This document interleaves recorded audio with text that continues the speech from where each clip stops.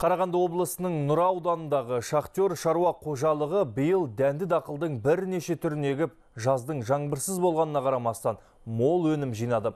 Мұндағы диқандар биыл облыс бойынша бірінші рет мақсары екті.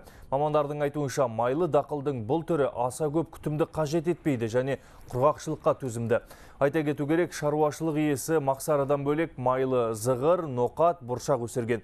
Сондай-ақ 8 мың тоннаға жуық картоп жинап, 25 мың тонна бидайды қамбаға құйды. Қазір тек элиталық тұқым себетін облыстағы ең ірі шаруашылыққа айналып отыр. Шаруашылық өндірген дәнді дақылдың негізгі бөлігін Қытай мен Түркияға экспорттайды.